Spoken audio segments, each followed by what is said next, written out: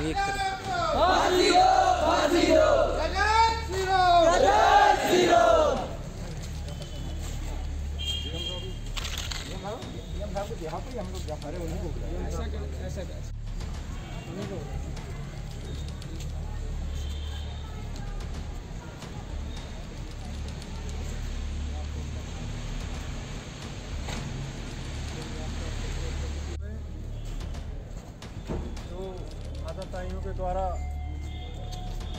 और विधर्मियों के द्वारा जो घटनाक्रम किया गया है उसके विरोध में सारे देश में हमारे प्रांत में जिला में पूरा विश्व हिंदू परिषद बजरंगल परिवार इस घटना की निंदा करता है।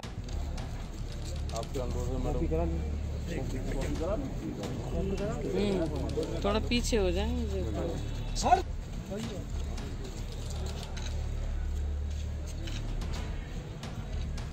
मैडम जी इसको आप महामहिम राष्ट्रपति तक प्रेषित करा दें ताकि हम लोग की जो मांग है निर्मम तरीके से हत्या की गई है। हर्षा की उसके रमन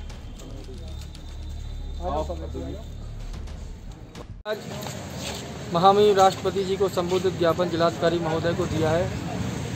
कर्नाटक के शिमोगा में एक हिंदू युवक धर्मवीर हर्षा जी की हत्या कर दी गई है जो कि बजरंग दल के हमारे सक्रिय कार्यकर्ता थे।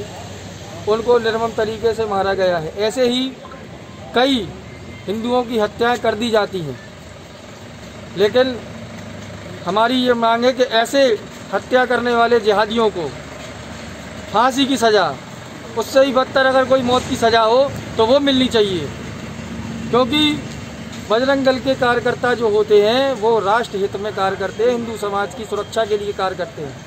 हमारा जो बजरंग दल का वो है एजेंडा, उसमें सेवा, सुरक्षा और संस्कार, ये तीन चीज़ों के आधार पे हम लोग कार्य करते हैं। उसके बाद भी बजरंग के कार्यकर्ताओं को इतना बड़ा झेलना पड़ता है कि जिसकी कोई कल्पना नहीं कर सकते कि हिंदू समाज में हिंदुओं पर अत्याचार हो रहे हैं और हम लोग कुछ नहीं कर पा रहे हैं। लेकिन अब ऐसा नहीं होगा। अब इसमें बदलाव किया जाएगा। क्या मांग उठाई है? मांग ये है कि जिन लोगों ने ये हत्या की है, इन लोगों को फांसी की सज़ा हो। उससे भी बदतर कोई सज़ा हो तो वो मिलनी चाहिए।